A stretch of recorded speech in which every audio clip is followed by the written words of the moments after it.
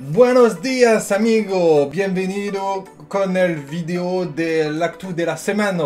Voilà deux années d'études d'espagnol pour en arriver là. On se retrouve donc aujourd'hui pour une vidéo d'actu jeux vidéo du jour. On a pas mal de choses à voir, notamment pas mal de choses sur Xbox. On est tout de suite parti sur un nouvel épisode de l'actu jeux vidéo du jour.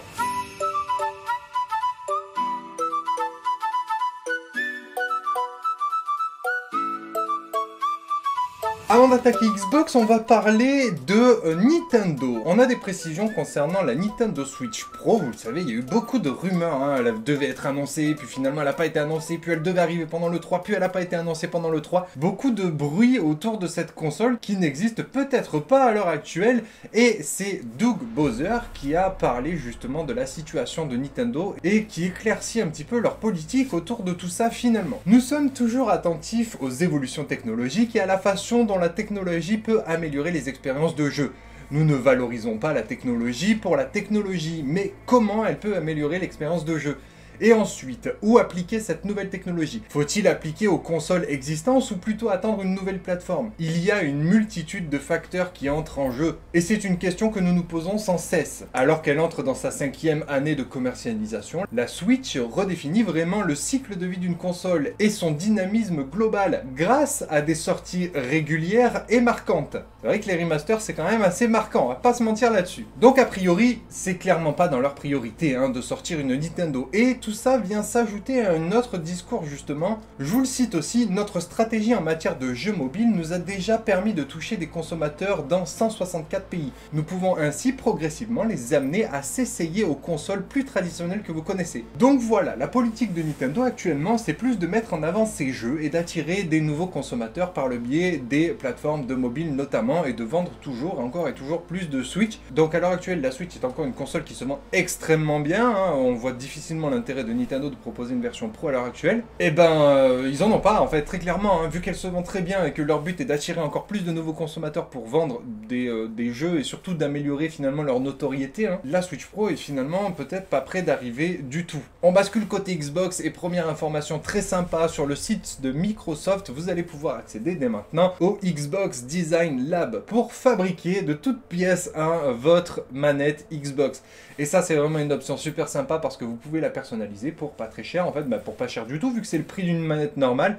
69,99€, bon, peut-être un peu plus cher avec les frais de port, etc. Je sais pas combien ils prennent sur les frais de port. Et effectivement, si vous achetez ça à Leclerc ou Amazon, en général, vous les payez plus cher, mais bon, c'est le prix, on va dire, standard. Donc c'est légèrement plus cher que ce que vous pouvez trouver dans les grandes surfaces. Mais vous pouvez la personnaliser aux couleurs que vous voulez. Hein. Donc le corps, vous mettez la couleur que vous voulez. Ensuite, le retour, donc c'est ce qu'il y a à l'arrière de la manette. Les protections du dessus, là, que vous voyez en jaune dégueulasse. Les gâchettes la croix directionnelle, ensuite vous avez tout ce qui est les sticks analogiques, les boutons euh, de la manette côté droit et les boutons centraux de la manette. Vous pouvez tout personnaliser et vous pouvez même vous permettre d'ajouter une petite fantaisie, c'est-à-dire une gravure sur votre, sur votre manette. C'est 9,99€ de plus, mais bon, une petite gravure avec écrit Bugland sur une manette aussi dégueulasse que celle que j'ai créée, j'avoue que c'est vraiment le top. Regardez, hein, voilà, on peut s'amuser à faire vraiment des designs assez dégueulasses.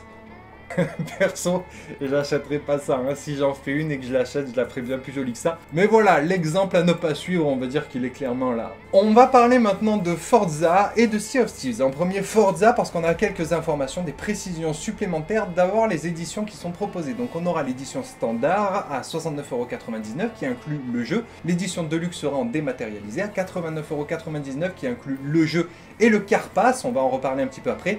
Et l'édition Premium en dématérialisé aussi à 99,99 qui inclut le jeu, le Carpass, deux extensions au jeu, un statut de VIP, un pack de bienvenue et l'accès anticipé qui permet d'avoir le jeu 3 jours en avance le 5 novembre. Voilà, moi je suis totalement contre, hein, on l'a déjà vu, Ubisoft l'a fait, tout ça, et justement ils ne le font plus, hein, tout simplement parce que les joueurs ont beaucoup râlé là-dessus, les accès anticipés, hein, vendre plus cher un jeu pour pouvoir y accéder 3 jours à l'avance. Bon, il y a d'autres trucs, les packs d'extension, etc., mais ça reste encore à débattre. Bref, du coup, le Car Pass, qu'est-ce que c'est? Ben, En fait, c'est 42 voitures supplémentaires qui vont arriver euh, ben, chaque semaine. Chaque semaine, il y aura un nouveau véhicule, donc pendant 42 semaines, vous allez pouvoir avoir à chaque fois, chaque semaine, une nouvelle voiture. Donc c'est plutôt intéressant aussi dans ce sens-là. On a des précisions côté technique, donc le jeu pourra tourner en 60 fps sur Xbox Series X et S grâce au mode performance standardisé.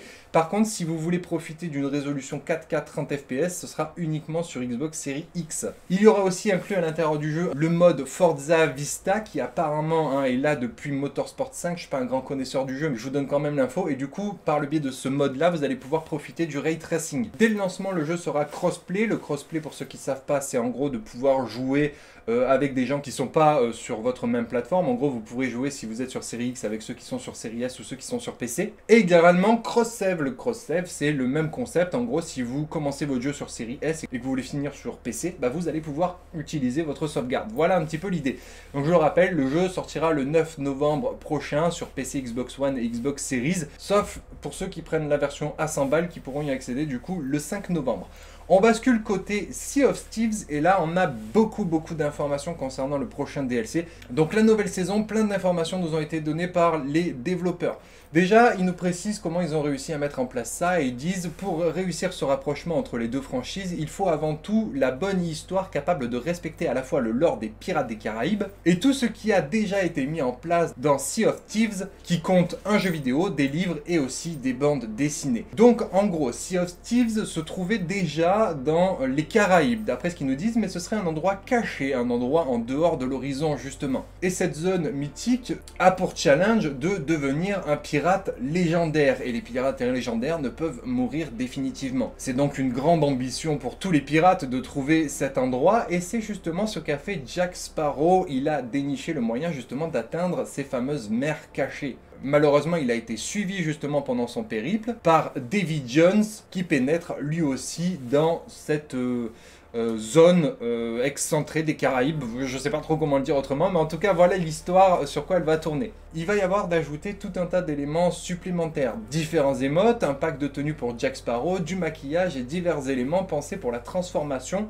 de n'importe quel navire en Black Pearl. Il y aura aussi beaucoup de références à l'attraction de Disneyland sur euh, Pirates des Caraïbes justement, donc des scènes qui ont été refaites et intégrées à l'intérieur du jeu. Il précise également que Jack Sparrow sera animé et bougera comme dans les films, vu que c'est la doublure de Johnny Depp qui euh, va, enfin qui a fait les films justement, qui va ben, enregistrer la capture de mouvement. Et également beaucoup de nouveautés à l'intérieur du jeu. Déjà, vous allez pouvoir visiter des lieux vraiment inédits comme un royaume sous-marin, une ville portuaire, un cimetière de bateaux ou encore des châteaux forts. Il y aura aussi des adversaires jamais vus comme des pirates fantômes ou des sirènes corrompues. Il précise que les sirènes seront plus dangereuses que les requins, elles chantent pour se régénérer et attaquent de façon ordonnée. Elles peuvent aussi lancer des projectiles à distance. En plus de ça, trois nouveaux types d'ennemis feront leur apparition dans le jeu. Le crabe géant qui apparemment est beaucoup demandé euh, par les joueurs. Des monstres bipèdes électriques qui peuvent euh, dasher et envoyer des attaques, vous l'avez compris, à distance électrique. Et les humanoïdes à tête de coquillage qui, peuvent eux faire des attaques empoisonnées. Y aura aussi une mise à niveau par rapport aux adversaires déjà présents dans euh, Sea of Thieves et il parle notamment du Kraken que les joueurs pourront finalement réussir à abattre à coups de boulets de canon. Je sais pas si c'était possible jusqu'à maintenant, là aussi je suis pas trop connaisseur du truc. N'hésitez pas à donner plus de précision bien entendu en commentaire hein, pour ceux qui connaissent bien la licence. Et une nouvelle arme sera disponible, le bâton magique qui envoie des boules d'énergie pouvant être chargées pour faire plus de dégâts. Cette nouvelle saison sera donc plus cinématographique que n'importe quelle autre saison de euh, Sea of Thieves. L'expérience se veut plus condensée, pouvant être terminée en une dizaine d'heures, sans aller-retour à faire pour apporter un objet à un avant-poste. L'aventure a également été pensée pour être faite en solo, hein, pour que tout le monde puisse euh, profiter de cette extension, et chaque nouvelle arrivée dans le monde sera mise en scène et scénarisée avec une intention un petit peu hollywoodienne, avec la mise en avant des musiques, etc., qui ont été faites spécialement justement pour cette saison inclut aussi de nombreux easter eggs que les joueurs pourront s'amuser à récupérer, et il y aura bien évidemment aussi euh, le retour des énigmes. Il est précisé également que les joueurs pourront faire équipe avec Curse Captain, qui est un crâne de squelette à tenir dans le creux de la main. Ce crâne va vous permettre justement de lui poser des questions et de vous orienter, de vous guider. Ouais, il fera un petit peu office de guide justement à l'intérieur du jeu. Voilà en ce qui concerne toutes les nouveautés de Sea of Thieves, et comme vous l'avez vu, il y en a pas mal et elles sont quand même plutôt intéressantes. Basculons côté Final Fantasy VII Remake et on et on aurait des informations concernant l'arrivée PC justement et il se pourrait bien que ce soit une exclusivité sur l'Epic Game Store. pour 6 mois ou plus d'après ce qui a été justement trouvé. En gros, ça a été trouvé à l'intérieur de la base de données de l'Epic Game Store directement, les mentions justement d'exclusivité concernant Final Fantasy VII Remake.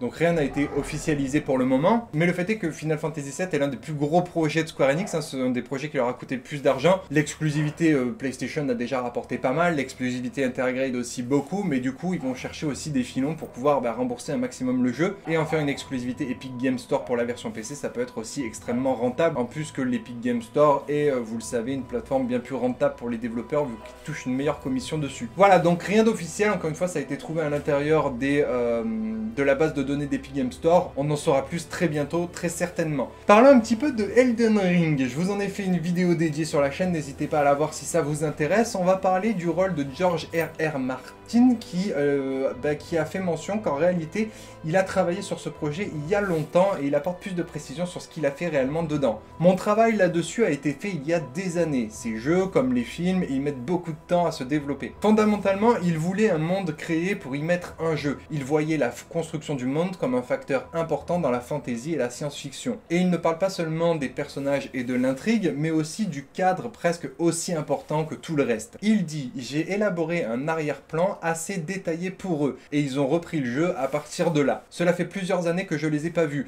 mais ils venaient périodiquement me montrer des monstres qu'ils avaient conçus, ou les derniers effets spéciaux cool, ou ce genre de choses. Mais le jeu s'est lentement développé, et maintenant il sort en janvier. Je crois donc que je serai aussi excité que n'importe qui d'autre de le voir. Donc voilà, globalement il a aidé à la construction du lore, il a aidé à la construction de certains personnages, certains ennemis, de l'univers. Cela dit, euh, ce qu'il en ressort, c'est qu'il n'aurait pas vraiment euh, travaillé sur la trame globale du scénario, ni sur les dialogues, ni sur quoi que ce soit, et qu'en plus de ça, ça fait très longtemps que son travail est terminé là-bas. Donc est-ce qu'il a été détérioré, amélioré euh, ou remanié? Ben, En réalité, on n'a pas toutes les informations concernant tout ça, mais il se pourrait bien, et ça s'est déjà vu pas mal de fois justement, euh, dans le cinéma ou dans les jeux vidéo, que euh, la vision initiale change complètement du tout au tout sur la version finale et définitive d'un jeu. Donc voilà, ce sera intéressant certainement d'avoir son retour quand il en saura plus ou quand il pourra tout simplement jouer au jeu. On va revenir rapidement sur Marie Desmarles, qui est la directrice narrative de Les Gardiens de la Galaxie, le jeu, donc le jeu qui a été montré à l'E3 de chez Square Enix,